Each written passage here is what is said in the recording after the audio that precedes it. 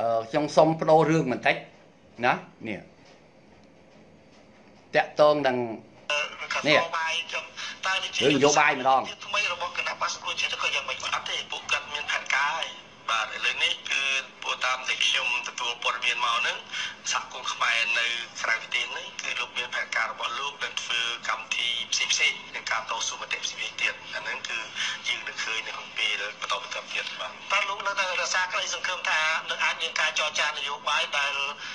អនុញ្ញាតឲ្យគណៈបក្សសង្គ្រោះជាតិចូលរួមបាននៅក្នុងការប្រកួតនេះឬក៏នេះគឺជាការមួយដែលអស់មានតែជំរឿនសម្រាប់ចូលរួមគឺទៅធ្វើសកម្មភាពផ្សេងទៀតបាទ គឺខ្ញុំនៅតែមានជំនឿហើយសង្ឃឹមជិតថាបញ្ហានយោបាយនៅប្រទេសកម្ពុជាត្រូវតែមានដំណោះស្រាយព្រោះវាអត់មានអ្វីដែលរកច្រកចេញឃើញទេត្រូវមានដំណោះស្រាយមួយសមរម្យសមស្របដែលភាគីពាក់ព័ន្ធនឹងអាចទទួលយកបានហើយយើងមិនចម្លែកទេនៅប្រទេសកម្ពុជាព្រឹត្តិការណ៍នយោបាយនៅប្រទេសកម្ពុជាតែតែផ្លាស់ប្ដូរលឿនណាពេលវេលាផ្លាស់ប្ដូរលឿនតែពេលខ្លះដែលយើងស្មានមិនដល់បាទយើងមើលទៅតាំងពីឆ្នាំ ក្រោយឆ្នាំ93មកគឺជាឃើញព្រឹត្តិការណ៍ចម្លែកចម្លែកសម្រាប់នៅប្រទេសកម្ពុជាតែប្រទេសទៅទៀតនានាអត់មានទេប្រទេសកម្ពុជាធ្វើបានបាទសារចុងក្រោយអំបញ្ញបេងនេះគឺជាបទសម្ភាសដែលតាក់ទងទៅនឹងរឿងការបោះឆ្នោតក្នុងខែ7ខាងមុខនេះខ្ញុំដូររឿងឈប់និយាយរឿងអាបន្លែប្លុកហ្នឹងដូររឿងដល់រឿងបញ្ហានយោបាយប្រទេសជាតិយើងវិញម្ដង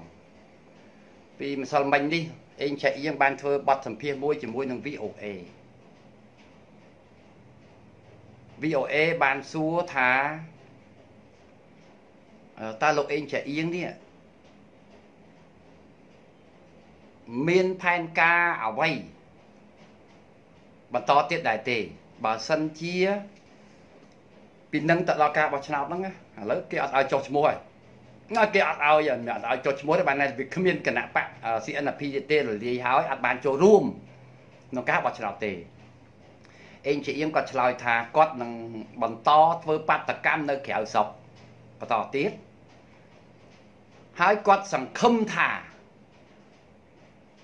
100%នឹងមានព្រឹត្តិការណ៍អ្វីប្លែកម្យ៉ាងបានន័យថា គាត់សង្ឃឹមចេះគាត់សង្ឃឹមថារដ្ឋាភិបាលកម្ពុជានឹងទម្លាក់ការចោបើកច្រកឲ្យគាត់ចរចាអានេះគាត់និយាយអញ្ចឹងណាបងប្អូនអាចស្ដាប់ម្ដងទៀតណាព្រោះព្រោះមិញគេលោកបងប្អូនស្ដាប់មិនទាន់សូមអធិស្ឋានសូមម្ដងទៀតកតបាយចឹងតើនេះជាយុទ្ធសាស្ត្រមួយទៀតថ្មីរបស់គណៈបក្សសង្គ្រោះជាតិក៏យ៉ាងមិនអត់ទេពួកគាត់មានផែនការហើយ បាទឥឡូវនេះគឺពួកតាមដែលខ្ញុំទទួលព័ត៌មានមកហ្នឹង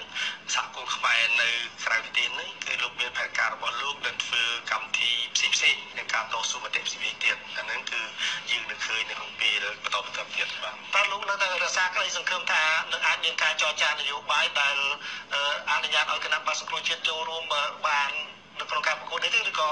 នេះគឺជាការមួយដែលអស់មានតែជំរឿនសម្រាប់ចូលរួមគឺទៅធ្វើសកម្មភាពផ្សេងទៀតបាទ គឺខ្ញុំនៅតែមានជំនឿហើយសង្ឃឹមចិត្តថាបញ្ហានយោបាយនៅប្រទេសកម្ពុជាត្រូវតែមានដំណោះស្រាយព្រោះវាអត់មានអ្វីដែលរកច្រកចេញឃើញទេត្រូវមានដំណោះស្រាយមួយសមរម្យសមស្របដែលភាគីពាក់ព័ន្ធនឹងអាចទទួលយកបានហើយយើងមិនចម្លែកទេនៅប្រទេសកម្ពុជាព្រឹត្តិការណ៍នយោបាយនៅប្រទេសកម្ពុជាតែតែផ្លាស់ប្ដូរលឿនណាពេលវេលាផ្លាស់ប្ដូរលឿនតែពេលខ្លះដែលយើងស្មានមិនដល់បាទយើងមើលទៅតាំងពីឆ្នាំ ក្រោយឆ្នាំ93មកគឺជាឃើញព្រឹត្តិការណ៍ចម្លែកចម្លែកសម្រាប់នៅប្រទេសកម្ពុជាតែប្រទេសទៀតនានាអត់មានទេប្រទេសកម្ពុជាធ្វើបានបាទសារចុងក្រោយអូខេឥឡូវប្រិមិត្តជួយធ្វើសាកសីគ្នា ពេលនេះខ្ញុំសុំដាក់ការភ្នាល់ជាមួយនឹងអេងឆាអៀងចំពោះការអះអាងរបស់គាត់ថាគាត់សង្ឃឹមថារដ្ឋាភិបាលទីក្រុងភ្នំពេញណា នឹងផ្លាស់ប្ដូរអេរយាប័តបើកការចរចាមួយដើម្បីឲ្យគណៈបករបស់គាត់មានជីវិតឡើងវិញឥឡូវយើងបើកការភ្នាល់ពីព្រោះលោកអេងឆែយើងបានភ្នាល់ម្ដងហើយជាមួយសំរងស៊ី3លានដុល្លារឯណោះសំរងស៊ីអត់ហ៊ានទេ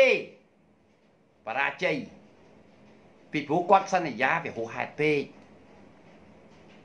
សន្យាទី1 គាត់ថាក្រោយការបោះឆ្នោតនេះរដ្ឋាភិបាលថ្មីមិនអាចកើតឡើងបានទេពីព្រោះបរិមាណនៃអ្នកទៅចូលរួមបោះឆ្នោតវាច្រើនធ្វើឲ្យគាត់ឈ្នះពេលនោះសហគមន៍អន្តរជាតិគេអត់ទទួលស្គាល់រដ្ឋាភិបាលទីក្រុងភ្នំពេញឡើយហ្នឹងមួយ អាចនាំឲ្យរដ្ឋាភិបាលហ្នឹងត្រូវតែស្លាប់អាហ្នឹងយើងភ្នាល់មលានដុល្លារទៅករណីមួយហ្នឹងទី2លោកបារាំងស៊ីបានអះអាងថាក្រោយការបោះឆ្នោតនេះកៅអីនៅអង្គការសហប្រជាជាតិនឹងត្រូវគេព្យួរ ទងជាតិរបស់កម្ពុជានឹងត្រូវអង្គការសហប្រជាជាតិទាញទម្លាក់ចុះហើយអានឹងខ្ញុំបាទថាអត់ទេ គេមិនទម្លាក់ឡើយហាឃើញអត់គេអត់ទម្លាក់ទេណាលោកសំយ៉ាងស៊ីអញ្ចឹងយើងភ្នាល់មលៀនទៀតទី3លោកសំយ៉ាងស៊ីគាត់អះអាងដូច លោកអរិញណាអេងជាអៀងមិនអញ្ចឹងគាត់អះអាងថាគណៈបកសង្គ្រោះជាតិរបស់គាត់នឹងត្រូវរស់ឡើងវិញហើយនឹងមានការបោះឆ្នោតម្ដងទៀតគាត់ឈ្នះភ្លុកទឹកភ្លុកដីមកគ្រប់គ្រងប្រទេសនេះតែម្ដងអាហ្នឹងគាត់និយាយក្នុងឆ្នាំ2018ហ្នឹងក្រោយការបោះឆ្នោតនេះសាមស៊ីថាអញ្ចឹងយើងដាក់ភ្នាល់1លានទៀតសរុបទៅ3លានមកទល់នឹងម៉ោងនេះ ដូចជាមួយអាទិត្យជាងហើយអត់ឃើញលោកសំរងស៊ីហ៊ានក្អកមួយម៉ាត់ឡើយឲ្យហ៊ានក្អកឯងបើសំរងស៊ីមិនហ៊ានភ្នាល់ជាមួយយើង បានសក្តីថាម៉េចបានសក្តីថាអ្វីអ្វីដែលសំរងស៊ីអះអាង គឺសុទ្ធតែកុហកគ្រាន់តែជាការអួតគ្រាន់តែជាការកុហកដើម្បីលើកទឹកចិត្តសកម្មជនរបស់គាត់ដែលល្ងងខ្លៅនៅក្នុងស្រុក ឲ្យចេះតែមាន សង្ឃឹមទៅលើការអះអាងរបស់គាត់តែប៉ុណ្ណោះបងប្អូនមើលទៅពួកអាភ្លើប្រហែលអ្នកដែលកំពុងតែកំពុងតែខមមិនមកនេះឃើញស្រាប់ហើយវាអត់ដឹងខ្យល់អីទេវាកំពុងតែបញ្ញាចិត្តថាអញនឹងដេកផ្ទះទៅក្តោយអញដេកដេកទៅមានអាណាទៅបោឯងតែឯងកុំសង្ឃឹមថាសំរងស៊ីបានមកដឹកនាំប្រទេសនេះអាផេះអត់ប្រយោជន៍ឡើយ ពួកយើងហ៊ានភ្នាល់បើលោកសំរងស៊ីអាចមកធ្វើនាយករដ្ឋមន្ត្រីស្រុកខ្មែរក្រោយឆ្នាំបោះឆ្នោតក្រោយការបោះឆ្នោតឆ្នាំ2018ដោយការអាងរបស់គាត់មែនភ្នាល់នេះទៅបើគាត់បើអត់ហ៊ានទេឥឡូវនេះយើងបើកការភ្នាល់ដាច់ដライរបៀបអង្គពុកប្រាជ្ញរបស់យើងជាមួយនឹងអេងជាអៀងម្ដងមិញគាត់និយាយមិញគាត់ថា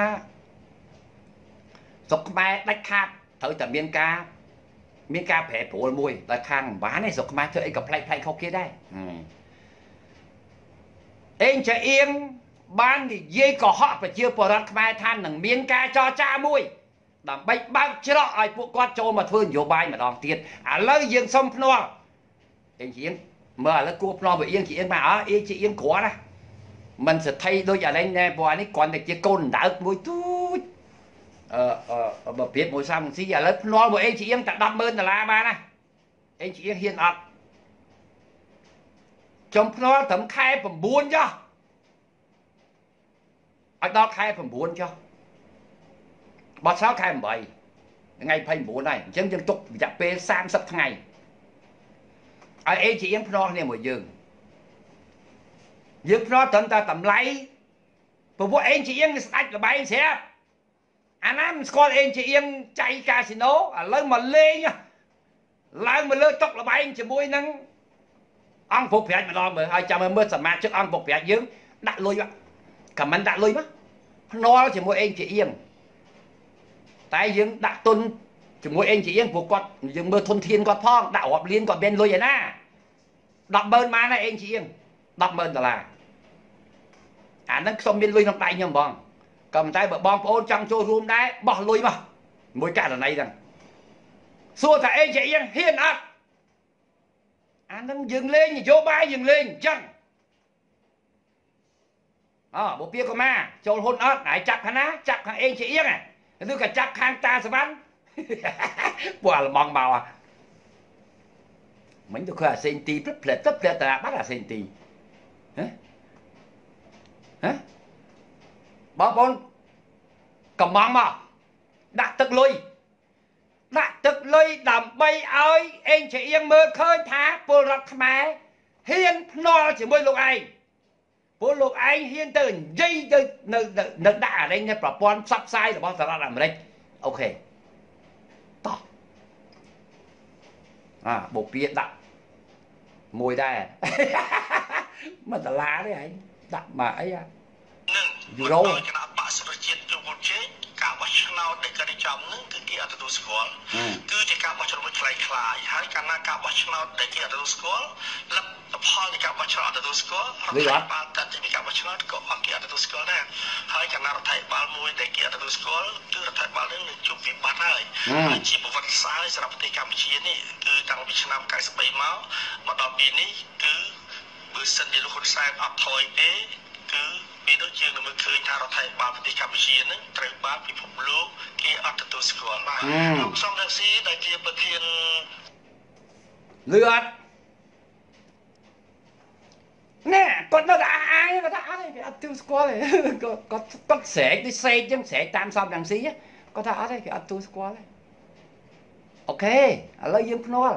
100000បានហើយហើយបងប្អូនដាក់បោះ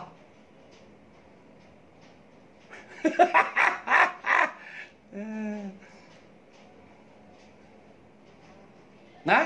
អូខេឥឡូវ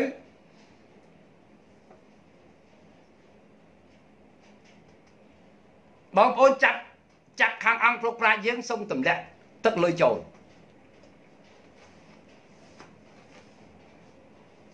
ណាតែយើង5000បាទច័ន្ទស័យ1000 ម៉ៅសេរី5000បាទចម្រើន100សក្ខេ1000អីច្រើនមកមកដាក់មកបងប្អូនម្ដងនេះយកលុយអេងជាអៀងចាយលេងអាយ៉ាមានម្នាក់នោះអូបោះទាំងលេខទូរស័ព្ទដាក់ប៉ុន្មានមិញ30000អុយ30000អស់ហើយម្នាក់ឯងសុំសផលលោកសុំសផលលេខអីធ្ងន់ដៃបែបកុំដាក់ច្រើនពេកគេយីយកម្នាក់ឯងច្រើនពេកមែនមកមកម៉ែហើយ ហើយចាំមើលមើលសរុបមើលអេងចាអៀងមើលទឹកលុយភ្នាល់អារឿងបើកការចរចាអារឿងទទួលស្គាល់រដ្ឋាភិបាលអាហ្នឹងភ្នាល់ជាមួយសំរងស៊ីតែអានេះភ្នាល់អារឿងបើកការចរចាលោកឯងអះអាងថានឹងមានកើតការចរចាមួយអាឡាភ្នាល់រឿងប៉ុណ្ណឹងបានណាចាំមើលមើលតើ CVP ចរចាឲ្យលោកឯងអត់ បាទសុំសផល30000ដុល្លារណាឃើញទេបងប្អូនមើលមានគេបញ្ជាក់ទាំងលេខទូរស័ព្ទឲ្យទៀតអេងជាអៀងអេងជាអៀងមិនដែលខានទេរឿងអង្គពុកប្រាច់យើងគាត់មើលរហូតគាត់គាត់អាមួយដឹងមើលមើលអង្គពុកប្រាច់រហូតដឹងតាខ្ញុំដឹងតែគាត់មើលណាអូនណាហ៊ានទេទេបើឯងជើងភ្នាល់អ្នកលេងភ្នាល់នៅកាស៊ីណូដែរណាណែឯងលេងរូឡែតណាមិនមែនតិចហ៊ុនទេណា តែឥឡូវមកលេងភ្នាល់លេងភ្នាល់ជាមួយនឹងអង្គពុកប្រាច់យើង មានតែពីរហ៊ុនទេបើមិនស្ដើងក្រាស់ហាបុព្វាកុមារឯងចាក់ចាក់ខាងអេងជាអៀងមកយូរ៉ូងាប់អញណាហើយឯងឯងក៏អត់វាអត់មានជំនឿអីសោះជាមួយមេវាហ្មងណាឯងមើលណាឯងមើលខ្មែរក្នុងស្រុកអាកអូនណា10ដុល្លារក៏មានដែរស៊ីវហាង ហាងខ្ញុំចូលជាការណាកុំកុំកុំកុំតិចដែរលោតែអេងចាអៀងគេចេញមកភ្នាល់មែនស្រាប់តែបងប្អូនបែរជាថាអត់វិញអត់ទេផ្ទះបាញ់និយាយគ្នាហើយអត់មានចេះអាងអើក្នុង Facebook អញចេះតែដាក់លេខទៅសូនប្រមាណក៏បានដែរអត់ទេណាហើយខ្ញុំកត់ត្រាទុកអស់ហើយខ្ញុំសេវទុកអាហ្នឹងបើកការភ្នាល់យ៉ាងហេរឿងហ៊ានមិនហ៊ានពេលណា គាត់មិនហ៊ាន បានន័យថាគាត់បរាជ័យបរាជ័យផ្នែកនយោបាយបើអេងឆៃអៀងមិនហ៊ានភ្នាល់ជាមួយនឹងសមាជិកអង្គពុកប្រាជ្ញរបស់យើងដូចបានតម្លាក់លុយឲ្យលោកឯងឃើញនេះទេ បានន័យថាអ្វីដែលលោកឯងនិយាយទាំងបាមានសិតតែជាភាសាកុហកពួកកុហកនយោបាយពួកអា999កុហកមិនមែនដែរទេអាហ្នឹងយើងគាត់ថាបានប៉ុណ្ណឹងយ៉ាងហោចទៅក៏យើងឈ្នះបានប៉ុណ្ណឹងដែរ ឈ្នះចិត្តដល់តែនិយាយពីអារឿងចិត្តហ្នឹងវាមានរឿងមួយទៀតតាក់ទងទៅនឹងលោកសនតារាឥឡូវ slash អេងចាអៀងបងប្អូនអាចខមមិនទឹកលុយបន្តចុះណាតាមចិត្តអីកុំនិយាយរឿងអេងចាអៀងម៉ាងវិធីអង្គប្រុកប្រាជ្ញរបស់យើងបើសិនជាអេងជាអៀងហ៊ានតែធ្វើដៃជាមួយអង្គប្រុកប្រាជ្ញរបស់យើងយើងមានមេធាវីត្រឹមត្រូវ មានមេធាវីរបស់អេងជាអៀងមកជួបយើងយើងមានមេធាវីរបស់យើងទៅជួបអេងជាអៀងយើងបង្កើតកណនីភ្នាល់មួយក្នុងធនាគារកណ្ដាលណាមួយឧទាហរណ៍ថាឥឡូវយើងបើកកុងធនាគាររបស់ ANZ របស់ ANZ របស់ធនាគារអូស្ត្រាលីអឺដាក់មកដាក់100000ណាអង្គពុកប្រៃយើងទម្លាក់ចូលក្នុងកុងរបស់យើង100000មកអេងជាអៀងទម្លាក់100000ដែរមកធនាគារគេថាអូខេឃើញលុយហ្នឹងហើយហ៎ធ្វើកិច្ចសន្យាភ្នាល់ទៅ អត់មានម៉ាងបានទេព្រោះលុយហ្នឹងតាហ៊ានអូខេគឺ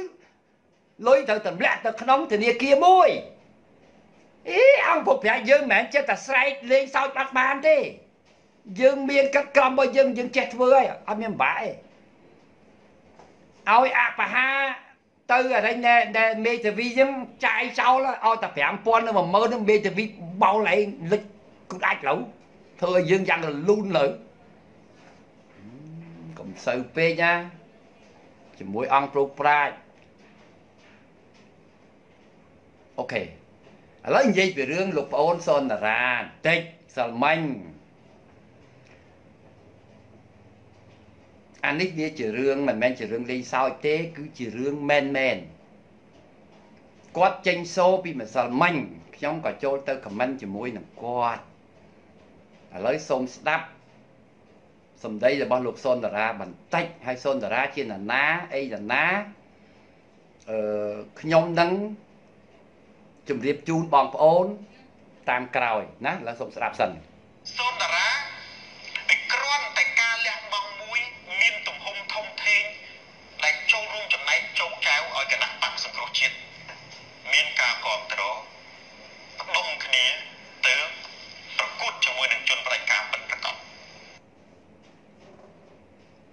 សូមស្ដាប់គាត់ម្ដងទៀត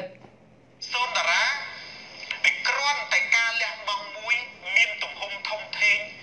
ដែលចូលរួមចំណែកចោកចៅឲ្យគណៈបកសង្គ្រោះជាតិមានការគ្រប់គ្រងដុំគ្នាទៅប្រកួតជាមួយនឹងជនបដិការពិតប្រាកដអឺចំណុចនេះខ្ញុំកាត់ខ្លីបន្តិចសូមអធិស្ឋានក៏ប៉ុន្តែខ្ញុំអាចបញ្យល់អត្ថាធិប្បាយបងប្អូនបានខ្ញុំបានសួរគាត់ ខ្ញុំសួរថាអឺលោកប្អូនសនតារាខ្ញុំឃើញលោកប្អូនប្រឹងប្រែងណាស់តាំងពីក្នុងប្រទេសរហូតដល់ក្រៅប្រទេសក៏ប៉ុន្តែខ្ញុំចង់សួរលោកប្អូនថាតើលោកប្អូនមានតំណែងអ្វីនៅក្នុងគណៈបកសង្គ្រោះជាតិពីព្រោះខ្ញុំអត់ដឹងថាគាត់មានតំណែងអីទេគាត់ក៏ឆ្លើយមកវិញដោយសភាពរៀបសារគាត់ថាបងសវណ្ណ ខ្ញុំគ្មានតំណែងអ្វីនៅក្នុងគណៈបកសង្គ្រោះជាតិទេគាត់ថាអញ្ចឹងពីព្រោះគាត់ចូលប្រឡូកក្នុងការនយោបាយនេះគាត់គ្រាន់តែជាអ្នកគ្រប់គ្រងគណៈបកសង្គ្រោះជាតិគាត់គ្រាន់តែជាសកម្មជនរបស់គណៈបកសង្គ្រោះជាតិទេគាត់គ្មានតំណែងប្រថាប់ត្រា គាត់ចង់និយាយថាប្រថាប់ត្រាទទួលស្គាល់ជាផ្លូវការគាត់ជាសមាជិកគណៈកម្មការនយោបាយឬក៏ផ្នែកនេះផ្នែកនោះនយោបាយកថានេះនយោបាយកថានោះនៅក្នុង CNP គាត់គ្មានទេអគាត់ឆ្លើយអញ្ចឹង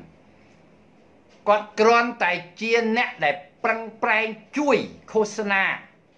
បញ្យលឲ្យប្រជាពលរដ្ឋងើបឡើងប្រឆាំងជាមួយនឹងរបបផ្ដាច់ការលោកនាយករដ្ឋមន្ត្រីហ៊ុនសែនតែប៉ុណ្ណោះ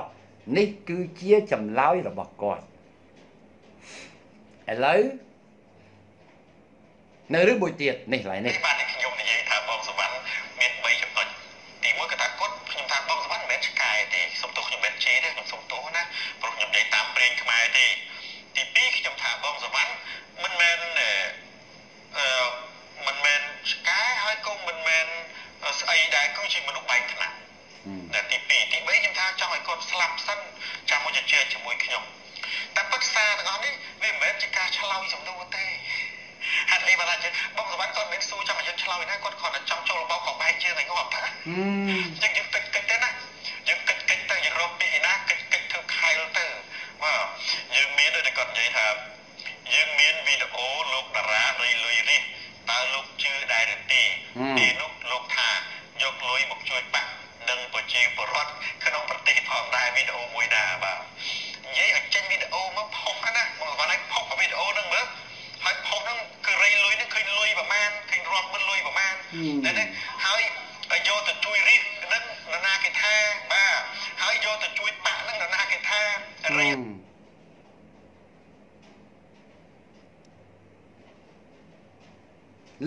នតារាគាត់មានប្រសាសន៍អំបញ្ញមិញដែរទេគាត់ថាខ្ញុំហ្នឹងចូលទៅសួរគាត់ផ្សេងៗហ្នឹងគឺមានចេតនាគ្រាន់តែយកគ្រាប់បែកទៅបោះដើម្បីសម្លាប់គាត់ទេវាទៅជាចេះតែយើងឯណាតែចង់សម្លាប់ជីវិតនយោបាយគាត់នោះយើងគ្រាន់តែសួរសួរថា អឺលោកប្អូនឯងមានតំណែងស្អីគេខ្ញុំឃើញប្រឹងណាស់ខ្ញុំឃើញមែនឃើញគាត់ប្រឹងយូរហើយតាំងពីនៅក្នុងស្រុករហូតដល់រត់ប្រឹងរត់តាមគេលឹកលឹកលឹកលឹកលឹកទៅដល់សុកប្រាំងទៀតហើយខ្ញុំអត់ដឹងមែននិយាយត្រង់ខ្ញុំអត់ដឹងថាគាត់មានតំណែងអីនៅក្នុងគណៈបកអញ្ចឹងក៏សួរត្រង់ហើយគាត់ក៏គាត់ក៏ឆ្លើយត្រង់មកវិញដែរគាត់ថាគាត់អត់មានបានអីទេបានន័យថាម៉េចបានន័យថាលោកសំយ៉ាងស៊ីអត់បានមើលលោកតារានឹងក្នុងក្របភ្នែកឡើយអូខេ បន្ទាប់មកទៀតមកខ្ញុំក៏ខមមិនរឿងថ្មីមួយទៀតខ្ញុំថាបើលោកគ្មានតំណែងអីនៅក្នុងបកទេហេតុអីបានជាខ្ញុំឃើញលោកឯងទៅអង្គានលុយនៅអាមេរិកខ្ញុំមានវីដេអូខ្ញុំក៏ទៅសេសួរគាត់អញ្ចឹងតើរឿងហ្នឹងវាយ៉ាងម៉េចបងប្អូនមានលឺគាត់ឆ្លើយទេគាត់ថាហា បងសបាយចេះថាបើមានវីដេអូផុសចេញមកហើយយើងទៅផុសឲ្យគាត់អាម៉េចនៅក្នុង live អញ្ចឹងយើងមិនមែនផុសវីដេអូណា បានទៅបង្ហាញគាត់កើតអញ្ចឹងខ្ញុំសន្យាថាថ្ងៃនេះខ្ញុំនឹងចាក់បង្ហាញឲ្យលោកសុនតារាសូមលោកមើលផងតើនេះជារូបសុនតារាមែនដែរទេ តើនេះគឺជាសកម្មភាពដែលលោកបានយកឈ្មោះគណៈបកសង្គ្រោះជាតិយកទៅប្រមូលលុយពីបងប្អូនខ្មែរដែលនៅបរទេសដែរឬទេអញ្ចឹងសូមបងប្អូនទស្សនាដូចតទៅណាកុំឲ្យយើងថាចេះតែថាមែនទេណែ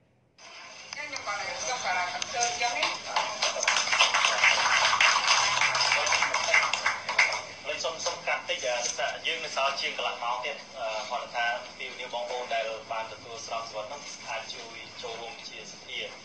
សម្រាប់ជួយសម្រាប់ការចំណាយផ្សេងផ្សេងទាក់ទងការធ្វើដំណើរហើយសកម្មភាពគណៈបកនៅក្នុងស្រុកខ្មែរបាទតាមលទ្ធភាពបងប្អូនណាបងប្អូនមានស្រោបសវត្តរៀងខ្លួននោះគឺសូមអញ្ជើញជួយតាមលទ្ធភាពចោះបាទ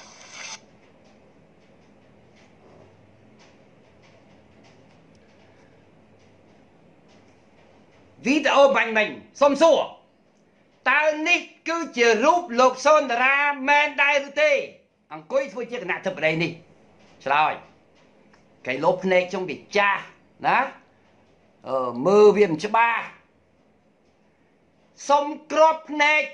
ដែលមាន 1K 1000នាក់តើនេះពិតជារូបលោកសុនតារាមែនដែរទេមែនអត់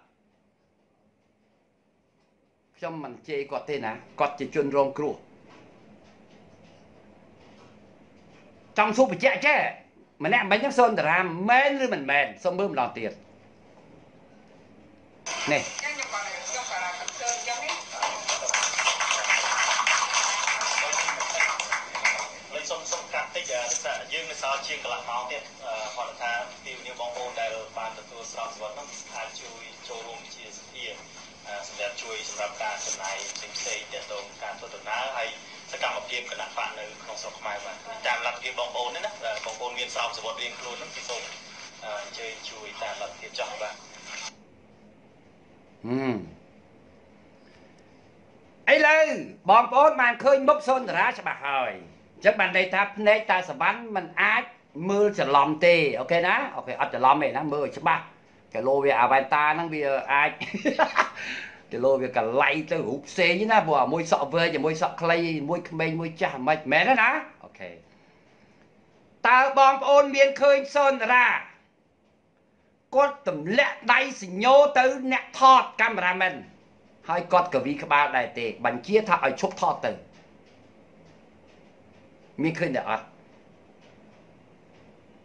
ពេលនោះអ្នកដែលនិយាយ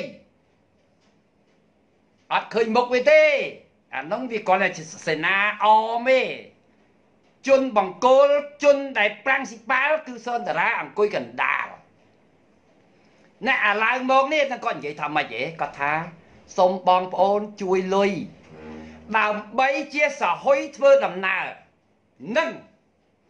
ដើម្បីទៅជួយគណៈបកធ្វើសកម្មភាពនៅស្រុកខ្មែរអូខេនេះគឺជាសម្ដី ដែលក្រមសុនតារានោះមានសុនតារាជាគណៈធិបតីអញ្ចឹងពេលដែលខ្ញុំសួរគាត់គាត់ថាគាត់គ្មានតួនាទីអីនៅក្នុងបកទេហេតុអីគាត់យកឈ្មោះបកសង្គ្រោះជាតិយកទៅប្រមូលលុយពីបងប្អូនខ្មែរនៅឯបរទេសអានឹងបានន័យថាលោកសុនតារាកុហកហើយ ឥឡូវនេះគាត់ស្រែកថាមើលបងប្អូនឯងបច្ចេញបច្ចេញคลิปវីដេអូហ្នឹងបើមើលមើលមានទេមានទេគាត់អត់ដឹងថាខណ្ឌសវត្ថនឹងមានទេណាទំនងជាគាត់អាចភ្លេចបាត់ទៅហើយព្រោះយូរដែរយូរហើយតាំងពី2ឆ្នាំមុនខ្ញុំຕົករហូតណែជាមួយអង្គពុកប្រាជ្ញយើងណាបងប្អូនមិនមែនចេះតែប្រូកចេះតែប្រាជ្ញ តាប៉ែមិនដឹងក្បាលមិនដឹងកតុយអីទេណាលោកប្អូនតារាលោកប្អូនជាមនុស្សដែលគួរឲ្យអាណិតខ្លាំងណាស់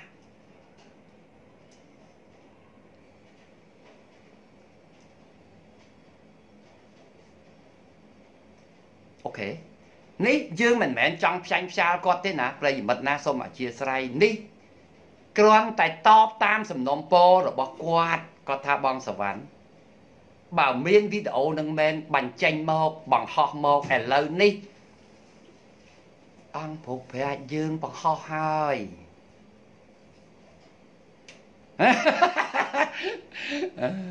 សៅហួតថាអឺអឺលោកមិញថាមានប្រិមិត្តមិញគាត់ថាគុណមនីថាស្អែកសុនតពូយកទៅផុសផងខ្ញុំធ្លាប់ផុសច្រើនដងអើខ្ញុំផុសច្រើនណាចូលមើល account ខាន់សវណ្ណខ្ញុំផុសឲ្យបាក់កភ្លុះហ្នឹង ផុសវីដេអូហ្នឹងតែប្រហែលជាបងប្អូនមើលវាមិនបានមើលអាការផុសមានតែមើលតិច100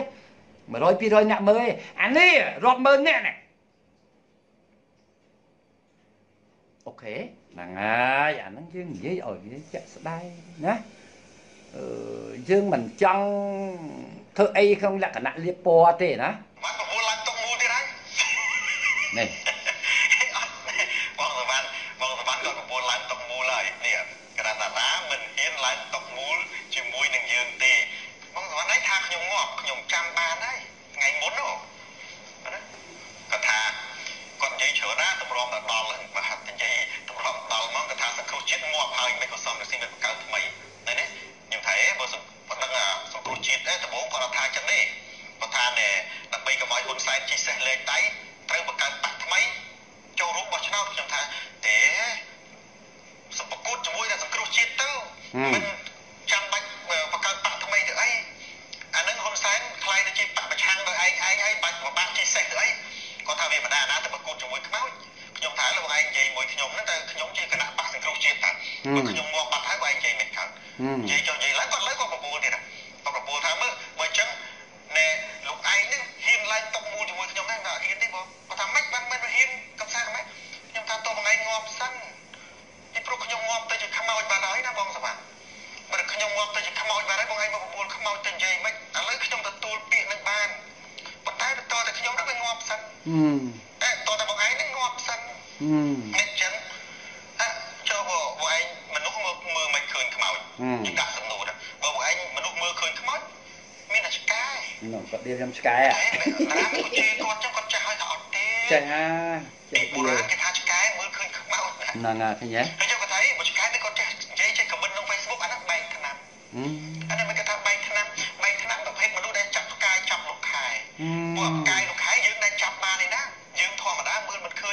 វាតតែមនុស្សបែកឆ្នាំបានមើលឃើញតែផ្កាយឯលោកខែនេះមិននៅក្នុងដាច់ឃើញទេហើយវាដូច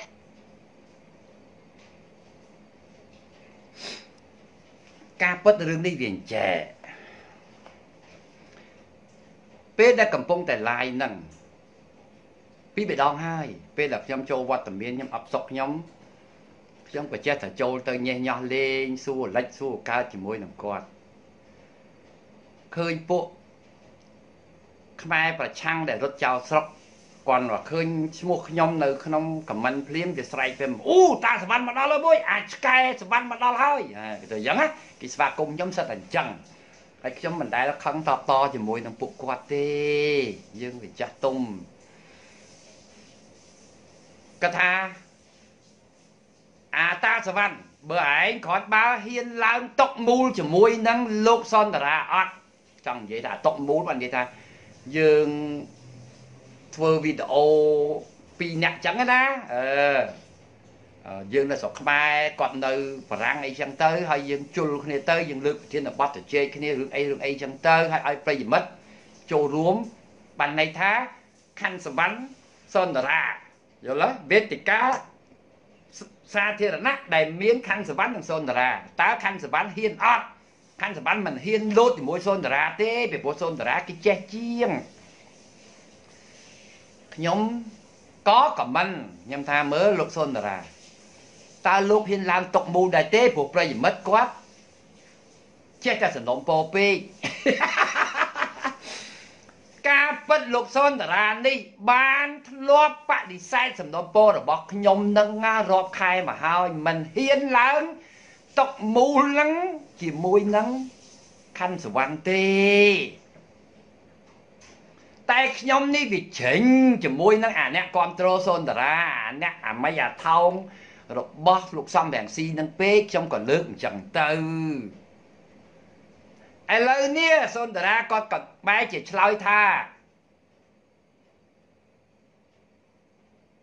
មូលហេតុ ដែលគាត់មិនហ៊ានឡើងតុកចរចាអាឡើងតុកចរចាឡើងតុកសន្តានាឡើងតុកវេទិកាសាធារណៈជាមួយខណ្ឌសវណ្ណហ្នឹងគឺដោយសារតែគាត់ហ្នឹងក៏តាំងខ្លួនគាត់ថាគាត់ហ្នឹងបានស្លាប់ទៅ ជាមួយនឹងគណៈបកសង្គ្រោះជាតិបាត់ទៅហើយគាត់ថាអញ្ចឹងគាត់ថាបើគាត់ស្លាប់បាត់ហើយ มันអាចចរចាជាមួយបងសម្បត្តិឯងបានទេវាតតែបងសម្បត្តិឯងងាប់ដែរស្លាប់ទៅដែរអាហ្នឹងទើបយើងអាចទៅចរអាចទៅសន្អាចទៅធ្វើជជែកគ្នាបានក៏ឆ្លើយអញ្ចឹងដល់ហើយយូរមកដៀលខ្ញុំឆ្កែដៀលខ្ញុំថាខ្ញុំនឹងពួកបែកថ្នាំតែយើងគ្រាន់តែចង់បង្ហាញប្រិយមិត្តទេណាអឺ មិញហ្នឹងដូចជាមានណាឥឡូវមើលដូចជាទៀតពីគ្រាន់តែការលះបង់មួយហ្នឹងហើយហ្នឹងហើយនេះនេះបានប្រមូលឡើងតុកមូលទៀតហើយនេះអាកន្លែងឡើងតុកមូលនេះបងសវណ្ណបងសវណ្ណក៏ប្រមូលឡើងមើលម្ដងទៀតនេះក្រាតាតាមិនហ៊ានឡើងតុកមូលជាមួយនឹងយើងទេបងសវណ្ណឯងថាខ្ញុំងាប់ខ្ញុំចាំបានហើយថ្ងៃមុននោះ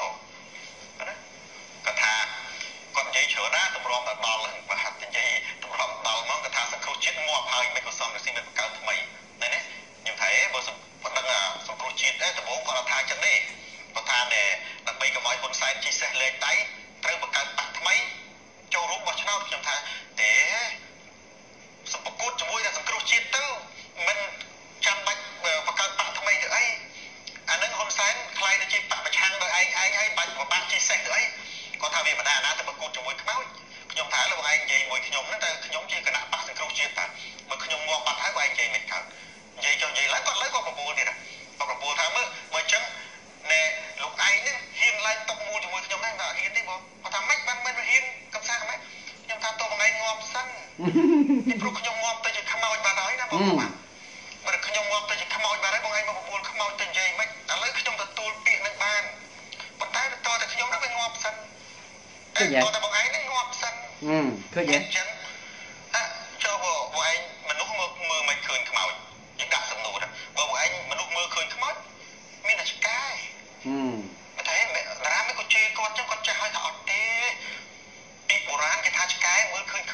ខ្មោចណាហឹមឃើញទេខ្ញុំគាត់ថាបើឆ្កែមិនគាត់ចាស់និយាយចេះខមមិនក្នុង Facebook អាហ្នឹងបែកឆ្នាំទៅទៅឯងបែកឆ្នាំ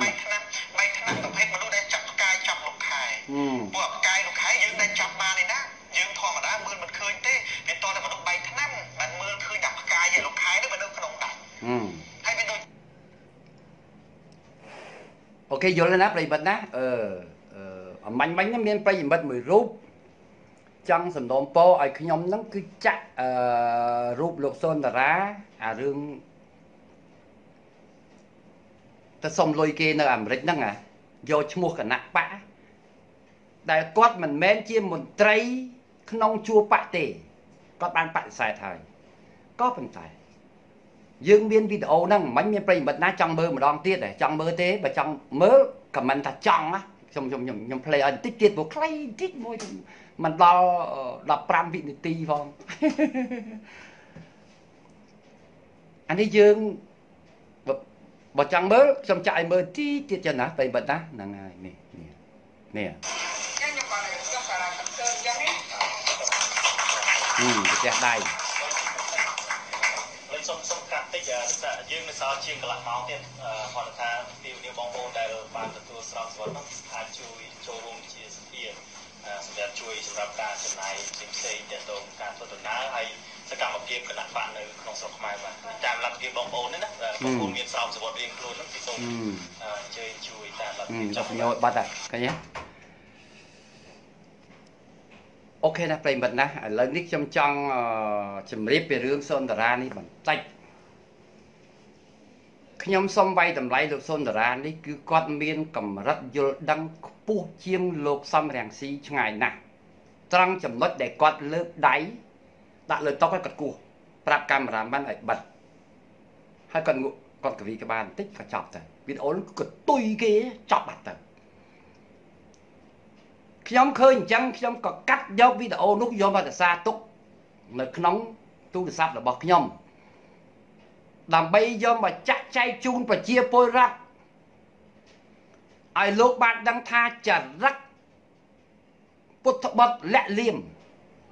របស់មនុស្សសង្គ្រោះជាតិគឺអញ្ចឹងមិនមែនទៅឥឡូវឥឡានេះទេរឿងនេះវាកើតឡើងពី3ឆ្នាំមុនមកបាត់ទៅហើយនៅអាមេរិកនោះឃើញនៅ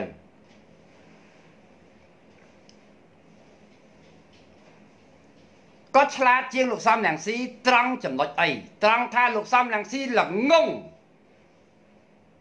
ទៅរៃអង្គាសលុយនៅប្រទេសជប៉ុនពីពលករចំណាក់ស្រុកគាត់ឲ្យគេឡាយទាំងអស់អត់ចេះខ្មាស់គេឯលោកសូនតារាឆ្លាតជាងលោកសំរងស៊ីត្រង់ចំណុចថាគាត់មិនឲ្យថតបន្តអញ្ចឹងក្មេងដែលជាអ្នកកាន់កាមេរ៉ាហ្នឹងគាត់ក៏បិទ ការ live នោះទៅ ការថតនោះទៅ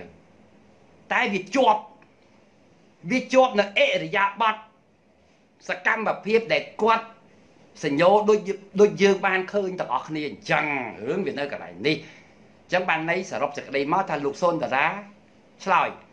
តើលោកសុនតារាពិតជាឆ្លាតជាងលោកសំរងស៊ីមែនដែរទេឆ្លើយតិចសិនណាសុំចម្លើយរបស់អង្គប្រប្រាជ្ញ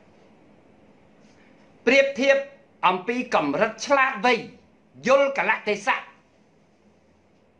រវាងលោកសំរងស៊ីដែលជាអ្នកដឹកនាំបកហើយនិងលោកសូនតារាដែលជាមនុស្សក្រៅបកគ្រាន់តែជាសកម្មជនគ្រប់គ្រងបកតែលោកសូនតារាពិតជាឆ្លាតជាងលោកសំរងស៊ីមែនដែរទេបើមែនសូមខមមិនថាមែនឃើញមែនទេអានឹងយើងនិយាយជាក់ស្ដែងណាខ្ញុំអត់បង្អាប់លោកសំរងស៊ីទេណាអធិស្ឋានណាលោកលោកប៉ាធានបារាំងស៊ី លោកពិតជាអន់ជាងលោកសុនតារាមែនអត់ខុសទេណាប្រិយមិត្តសូមប្រជាពលរដ្ឋខ្មែរទូទាំងប្រទេសលោកជួយវិនិច្ឆ័យលើអាចំណុចនេះផងយើងមានផតាំងត្រឹមត្រូវណាស់ដើម្បីបញ្ជាក់ថា លោកសំរងស៊ីពិតជាអែអែជាងសុនតារា ដែលជាមនុស្សគ្មានតម្លៃក្នុងបកសោះមែនអត់ចំណុចហ្នឹងណា យើងត្រូវតែទទួលការពិតនេះមានអ្នកសុំមើលម្ដងទៀតអេមិនល្អមើលណាស់ទៅឯងមើលមួយទៀតអាចមើលនេះ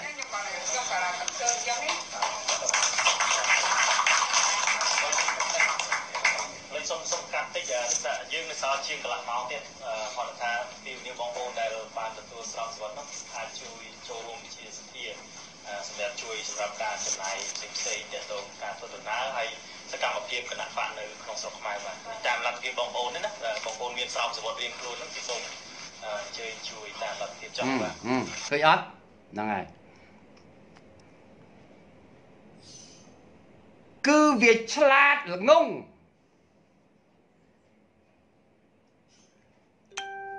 សំរាំងស៊ីវាល្ងងជាងសនតារាគ្រាន់តែសនតារាល្ងងតិចជាង ណែសំណួរមួយទៀតវាចេញចែមែនដែរទេសំរាំងស៊ីល្ងង100សនតារាល្ងង70វាអត់ល្ងងភ្លើដូចមេបាក់របស់វាទេយល់ទេអាហ្នឹងគេហៅថាល្ងងដែរតែល្ងងវានៅគ្រាន់បើជាងសំរាំងស៊ីបើសំរាំងស៊ីល្ងង999 អានេះអត់ទេបានត្រឹមតែ888អីចឹងទៅយល់ទេណាស្លាតក្នុងចំណោមអ្នកល្ងងអូខេអូខេសូមអធិស្ឋានឥឡូវនេះខ្ញុំសូមថ្លែងសារត្រង់ទៅចំពោះលោកប្អូនសុនតារាបន្តិចប្រិមិត្តការពិតលោកសុនតារាជាមនុស្សដែលគួរឲ្យអាណិត ខ្ញុំមិនស្គាល់លោកសុនតារាច្បាស់ទេក៏ប៉ុន្តែខ្ញុំចេះតែឆ្លិចសួរគាត់នៅតាមបទខមមិនរបស់ខ្ញុំ ក្នុងពេលដែលគាត់ live show លោកសុនតារាជាមនុស្សក្រៅបកលោកសុនតារាបានអះអាងខ្លួនថាគាត់ជាអ្នកគ្រប់គ្រងហើយគាត់ជាគ្រូបង្រៀននៅទីក្រុងភ្នំពេញគ្រូបង្រៀនផ្នែកទស្សនវិជ្ជាទៅទៀត ហ្នឹងគាត់និយាយខ្លួនគាត់ណាហើយគាត់តែងតែតាមគ្រប់គ្រងគណៈបកសង្គ្រោះជាតិនេះមិនតិចជា4 5ឆ្នាំទេដើម្បីគាត់គ្រប់គ្រងសម្ដែង នៅទឹកចិត្តដែលគាត់គ្រប់គ្រងលោកសំរងស៊ីគឺគាត់តែងបញ្ចេញសកម្មភាពច្រើនណាស់តាមបំរើលោកសំរងស៊ីតាំងពីនៅក្នុងប្រទេសក៏ប៉ុន្តែ ចុងបញ្ចប់លោកសុនតារាអត់មានបានត្រូវលោកសំរងស៊ីមើលឃើញនៅក្នុងក្របភ្នែកសោះឡើយនិយាយឲ្យខ្លីគឺសំរងស៊ីអត់ស្គាល់សុនតារាផងហ្នឹងអត់ស្គាល់ទេអត់យកចិត្តចិត្តទុកដាក់ជាមួយនឹងលោកសុនតារាទេដើម្បីបញ្ជាក់សក្ខីសក្ខីភាពរបស់ខ្លួន ឲ្យលោកសំរងស៊ីដឹងថាលោកសូនតារានេះពិតជា មានភក្តីភាពដ៏មុះមុតជាមួយនឹងគណៈបកសង្គ្រោះជាតិនៅពេលដែលគេរំលាយគណៈបកភ្លាមលោកសុនតារាបាន ប្រមូលលុយកាក់របស់គ្នាវិចកៅអៅរត់ទៅសុកប្រាំងឲ្យវាទៅចិត្តលោកសំរងស៊ីហើយដើម្បីឲ្យលោកសំរងស៊ីនឹងមើលឃើញថាអឺសុនតារានឹងពិតជាស្មោះជាមួយនឹងគាត់មែនពិតជាតស៊ូជាមួយគាត់មែន បងប្អូនគិតមើលណាគ្នាណាលះបង់អាជីពជាគ្រូបង្រៀនណាគ្នាបង្រៀនរាប់គិតជាម៉ោងណាគ្នាបានលុយតែគាត់មិនមែនជាគ្រូបង្រៀនអឺក្របខ័ណ្ឌរត់ទេគាត់និយាយខ្លួនគាត់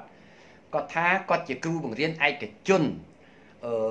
មហាវិទ្យាល័យផ្សេងផ្សេងសាលាដតីហ្នឹងគឺថាហៅគាត់ទៅបង្រៀនគឺគិតបោងឲ្យគាត់ទេគាត់អាចរស់បានយល់ទេតិចខ្ញុំបន្តខ្ញុំទទួលប្រិយមិត្តមួយសិន អូសញ្ញោនេះលោកព្រះសញ្ញោមករកអីនៅបែកអារម្មណ៍បិទតាម៉ងណាអឺបាទ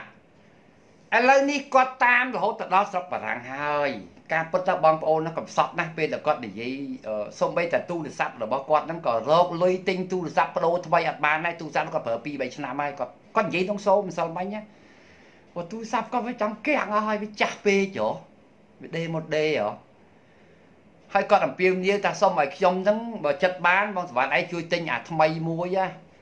តម្លៃ7 800 1000នេះផ្ញើទៅឲ្យគាត់ផងគាត់អត់មានទូរស័ព្ទប្រើទេអូខេ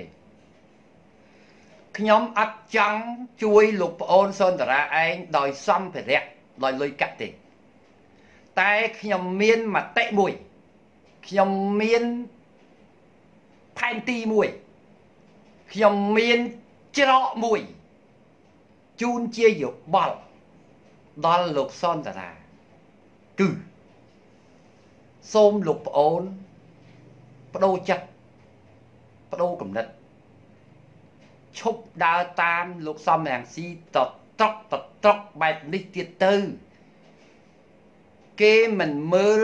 លោកនៅក្នុងក្របភ្នែករបស់គេទេពីព្រោះលោកសំរងស៊ីនេះគឺជាមនុស្សមុខលុយ មានគំរូលោកកឹមសុខាអាលោកកែមលៃមួយជាគឺ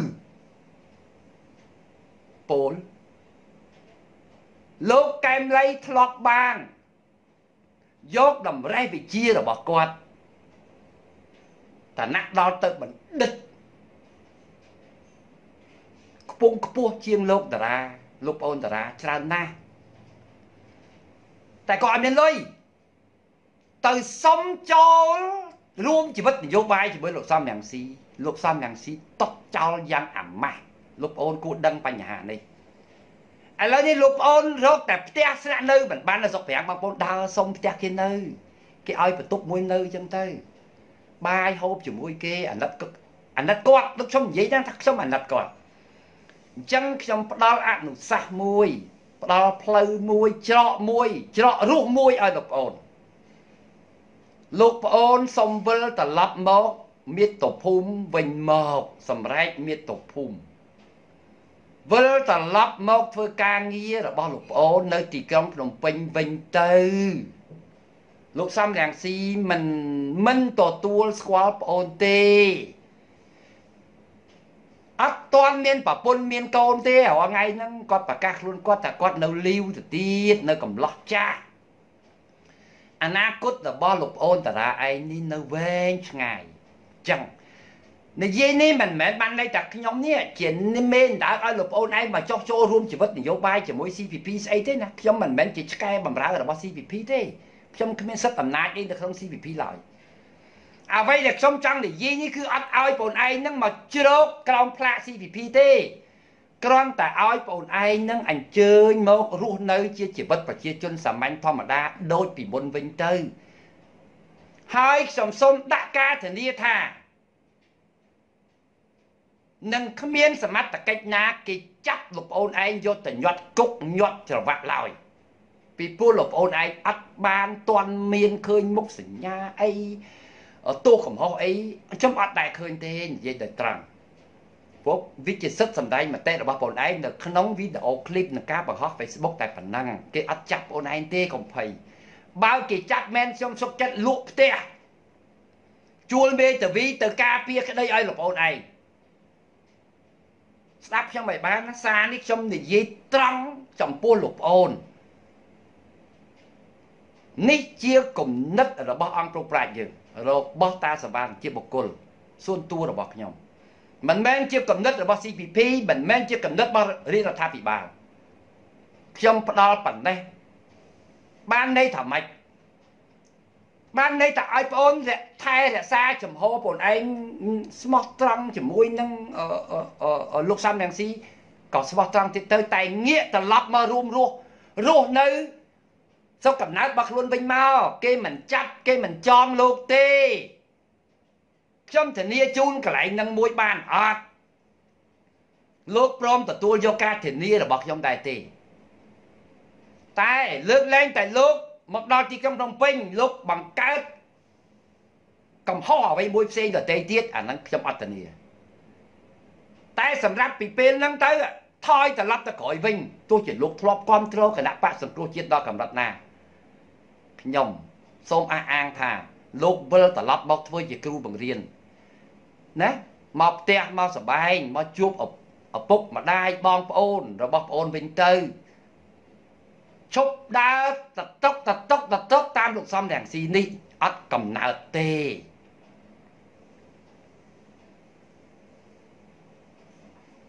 ពីព្រោះឥឡូវនេះគាត់គ្មានតំណែងស្អីគ្មានតួនាទីអីហើយក៏អាក្នុង118នាក់ហ្នឹងក៏អត់មានឈ្មោះលោកប្អូនសនតារាឯងដែរមែនអត់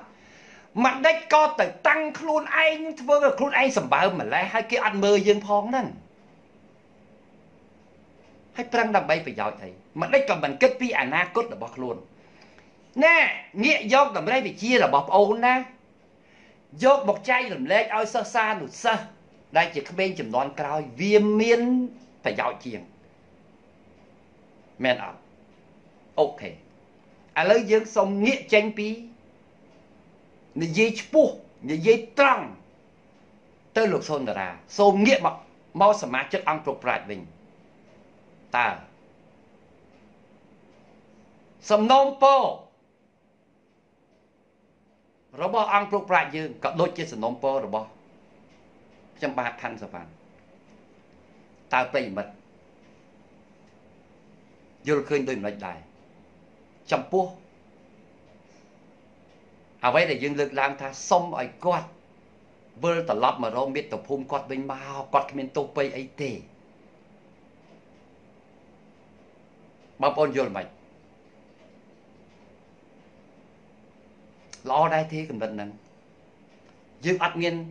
ខ្ញុំសុំធានាសុំធានាសុំធានាថាលោកនឹងមករួមរស់យ៉ាងធម្មតានៅក្នុងសង្គមជាតិនេះ ពួកខ្ញុំបានពិនិត្យសកម្មភាពរបស់លោក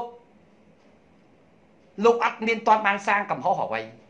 ចំពោះប្រទេសជាតិនឹងជាដុំកពួនទេអញ្ចឹងខ្ញុំគិតថាលោកគ្មានទោសឲ្យតែលោកវិលត្រឡប់មកគ្រាន់តែមកធ្វើគ្រូបង្រៀនធម្មតាទៅឲ្យលោកមិនមែនឲ្យលោកឯងនឹងមកចោះចូលមកពាក់អាវ CVP អត់ទេណាសូមកុំច្រឡំចំណុចនេះលោកជឿបាក់ណាជឿទៅខ្ញុំមិនខ្វល់ទេ ជាសេរីភាពនៃការជ្រើសរើសរបស់លោក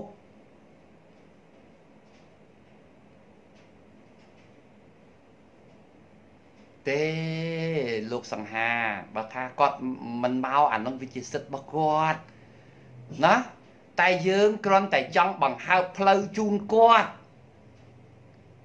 វាមិនមែនដល់ថ្នាក់គេហៅថាជ្រុលក្បាលកពើឯណាអត់ទេណា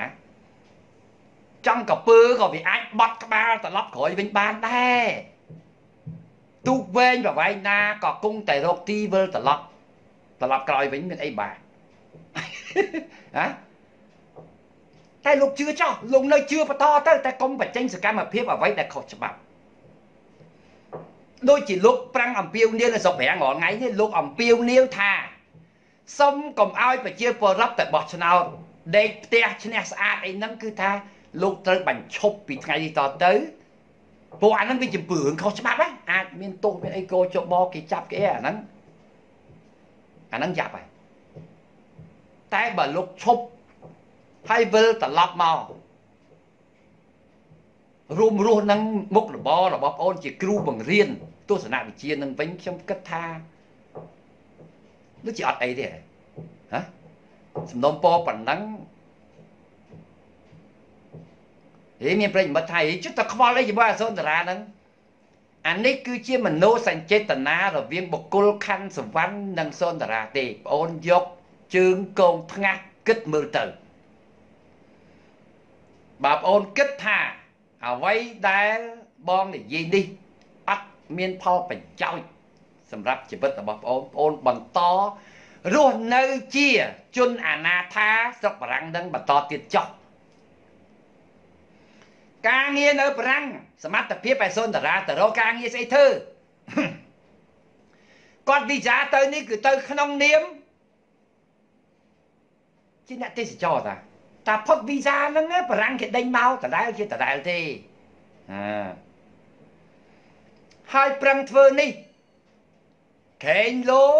តឡាការនៅទីក្រុងភ្នំពេញគេប្តឹងគេផ្ដាល់លោកតារាទៅក្រែងលោកបានលេះហ្នឹងជ្រកកោននយោបាយខ្ញុំ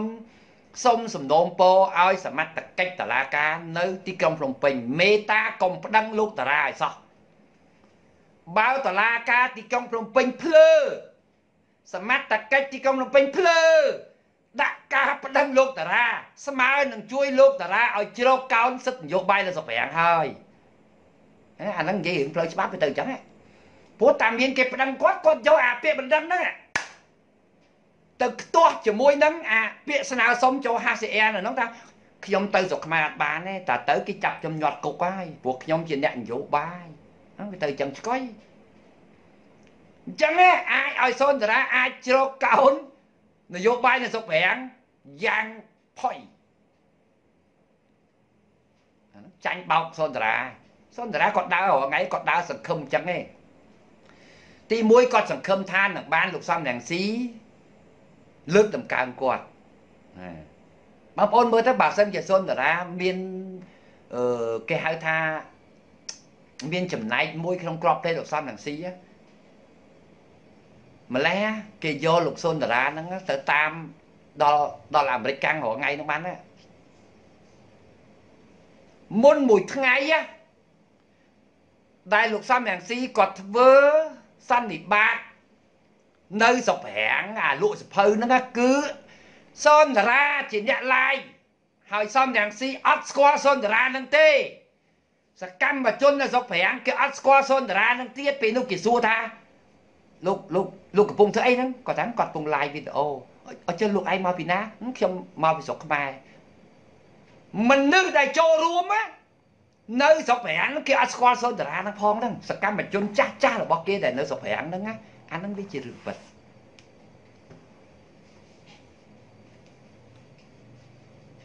កុងសេរីក៏ថាប្រឹងស្រែកអញ្ចឹងថាបាទគោលដៅរបស់គាត់មានពីរ តែខ្ញុំគិតថាគោលដៅទាំងពីរនឹងត្រូវបរាជ័យហើយណាលោកប្អូនសុនតារាជឿបងណាឈប់និយាយត្រង់មកស្បោះអស់ពីបេះដូងនិយាយនេះអត់មានចេតនាអីឲ្យបងឯងមកបំរើឲ្យ CVP ស្អីអត់ទេព្រោះខ្ញុំមិនមែនជាមនុស្ស CVP ទេណាសូមទានជ្រាបអត់មានទេតែគ្រាន់តែឲ្យលោកប្អូនឯងងាកវិលត្រឡប់មករកផ្លូវរួមរស់ជាមួយនឹងប្រទេសជាតិវិញ កុំទៅធ្វើជាឆ្កែបំរើឲ្យបរទេសក្រៅក្របខ័ណ្ឌអានេះទៅទៅបំរើគេក្រៅក្របខ័ណ្ឌណាបងអូនសញ្ជាតិបារាំងក៏អត់អីក៏អត់ហើយការងារអាណាគេឲ្យឯងធ្វើអត់អញ្ចឹងរាល់ថ្ងៃហ្នឹងដេកស៊ីដោយកំអួតរបស់គេដោយគាត់និយាយខ្លួនគាត់គាត់ថារាល់ថ្ងៃហ្នឹងគាត់លួចរសារបងប្អូនចិត្តល្អគាត់ចេះតែជួយចិញ្ចឹមគាត់មនុស្សសញ្ចេតនាគេគេចិញ្ចឹម លោកសុនតារាបានមួយខែពីរខែតែគេអត់អាចចិញ្ចឹមប្អូនឯងបានមួយជីវិតបានឡើយអ្នកសុកប្រាំងអូឲ្យវាយល់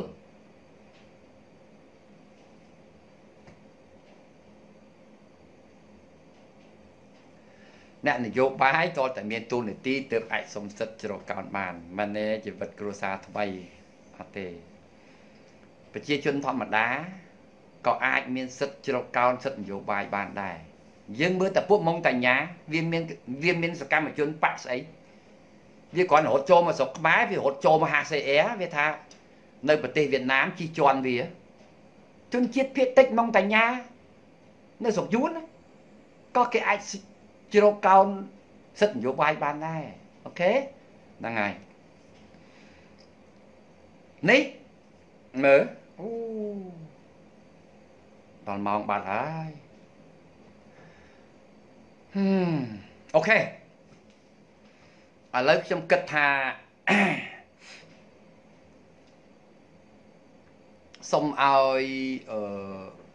យើងមិនចង់បង្អាប់គាត់ទេលោកផាត់អូននៅសុកប្រាំងសុនតារាសុំគេលៀងប្រគុណក៏មិនបានផងអីអាហ្នឹងវាហាអាចកពិតអញ្ចឹងក៏ថាបាន តែយើងកុំទៅប្រមាថគាត់ណាយើងគ្រាន់តែផ្ដល់ គំនិតមួយល្អឬមិនល្អអាហ្នឹងគាត់យកទៅពិចារណាខ្លួនគាត់ទៅណាហើយដូចខ្ញុំទៅអីនេះចំណាស់នេះទៅហើយតែខ្ញុំចាប់បានតំណែងអីហ៎បងប្អូនគិតមើលមើលនេះខ្ញុំជាមន្ត្រីចូលនិវត្តន៍ស្គាល់ហើយនៅរឿងតំណែងគឺវាអត់មានកើតអីចង់បានក៏គេមិនអោយឃើញទេហើយបើគេចង់ឲ្យក៏ខ្ញុំអត់យកព្រោះខ្ញុំចាស់ហើយ តែលោកតារាលោកនៅក្មេងអនាគតលោកនៅ30 40ឆ្នាំទៀតអញ្ចឹងមកកសាងជីវិត ជាខ្មែរម្នាក់ជួយសង្គមយើងផងទៅល្អជាជាងទៅដើរពេលវេលាយើងមានតម្លៃណាស់ណាមែនទេប្រិមិត្តណោះអឺតើអ្វីដែលយើងលើកបាញ់មិញនេះវាសំហេតុសំផលដែរទេខ្ញុំគ្រាន់តែសុំប៉ុណ្ណឹងដើម្បីជាកិច្ចមុននឹងលាគ្នា អឺមុននឹងលាគ្នាអូបុណ្យសៅរ៍នេះបន្ត1ម៉ោងទៀតមានពេលណាបន្តលោកម្ចាស់អើយខ្ញុំឃ្លានបាយហើយណាអឺកំឡុងអឺសនតារាជាមនុស្សជួញបាននៅបារាំងក៏មិនសុខដែរអញ្ចឹងសនតារាបែកឆ្វេងហើយមិនដែរអឺ យោបល់យោបល់របស់ខ្ញុំលើកបាញ់មិញហ្នឹងអឺបងប្អូនគិតថាវាវាត្រឹមត្រូវដែរណាយើងក្នុងនាមយើងជាចាស់ទុំណាជួនកាលគាត់នឹកមិនឃើញចំណុចហ្នឹងទេគាត់ចិត្តតែបារម្ភណាអញតិចទៅស្រុកខ្មែរគេចាប់អញយកញាត់គុកទៅខ្ញុំសុំធានាតែសានថាបងអឺបងសេងទីតាណាហើយបាទសេងទីវានៅដើរជេរគ្រប់កន្លែងទាំងថ្ងៃហ្នឹងអត់ឃើញវាមក តាមលឺនិយាយមកអារូបដែលយើងបង្ហាញហ្នឹងគឺឈ្មោះសេងទីមែនហើយ account ហ្នឹងក៏បោះគាត់ប្រើដែរតែឮថាសំណងជាអាអ្នកមានអាណាមួយនោះទៅលួចយក account សេងទីរបស់គាត់ហ្នឹងយកទៅប្រើអញ្ចឹងអាសម័យខ្លួនរបស់សេងទីហ្នឹងអត់បានប្រើ account ហ្នឹងទេវាអញ្ចឹងអញ្ចឹងរូបដែលយើងបញ្ចេញទៅនេះគឺពិតជាសេងទីមែនហើយឈ្មោះគ្នាហ្នឹងវាសេងទីដែរតែដល់អាតួអង្គដើរជេរគេហ្នឹងមិនមែនអារូប ម្ចាស់ដើមរបស់គាត់ទេប៉ុណ្ណឹងណាអឺសុំសុំសួរប្រិយមិត្តអញ្ចេះមុននឹងយើងលាគ្នាតើមានប្រិយមិត្តណាថ្មីអត់សុំខមមិនលេខ1ណាហើយយើងលាគ្នាណា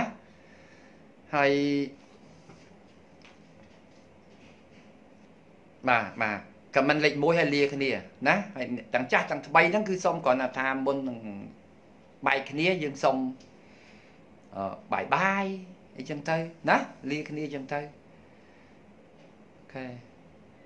ឧត្តម LDP ថាល្អមែនហើយបាទអរគុណច្រើនណាបាទអូមានអ្នកលេខ1អ្នកថ្មីសូមខមមិនលេខ1ណាបាទបងខេងថាអូខេឲ្យគាត់ត្រឡប់មកស្រុកវិញបាទណាហើយអឺ